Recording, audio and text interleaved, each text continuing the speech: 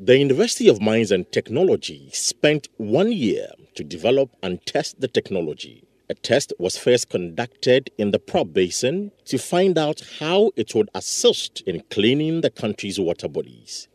Vice Chancellor of the school, Richard Kwesi Amankwah, who led the demonstration, assured government of the usefulness of the technology and explained how it would work. There are particles that can settle by themselves when they fall into water, and there are particles that need to be helped to settle. And the ones that we see in our waters are particles that need help to settle.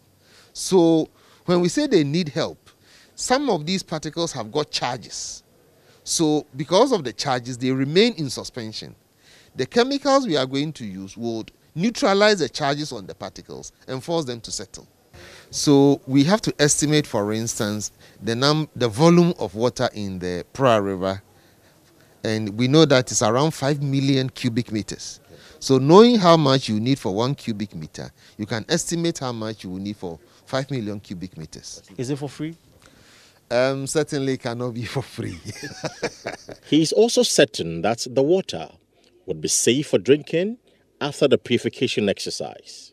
The suspended solids, once they start maybe falling into the bottom of the river, naturally they will occupy space.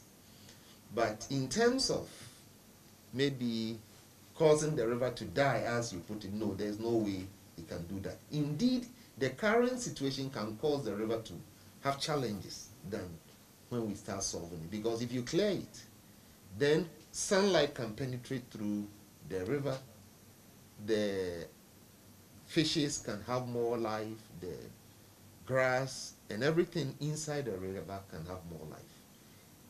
This current situation is worse than what we are going to do.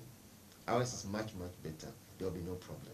Even if, if you take a sample of the water and you run a multi-element test on it, none of the elements you see in the water would have any adverse effect on human life or even uh, fish life or even grass life.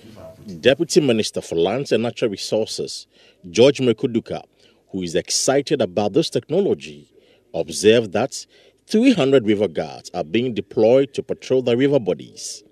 In his view, the deployment is to realize the objectives of the technology. You know, Pra is now cleaned. There's no mining activity ongoing in the river Pra.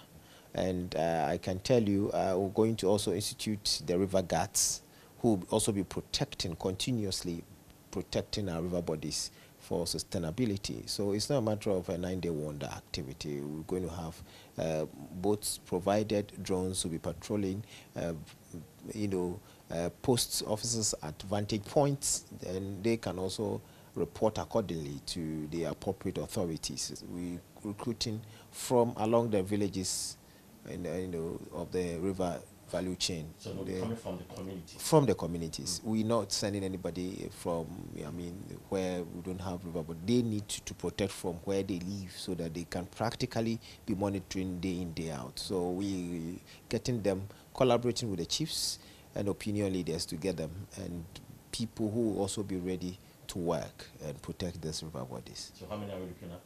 Are we For looking? community specific? We looking at uh, you know piloting the PRA for now and uh, take it from there. So we're looking at getting it no less than uh, 300 for a start.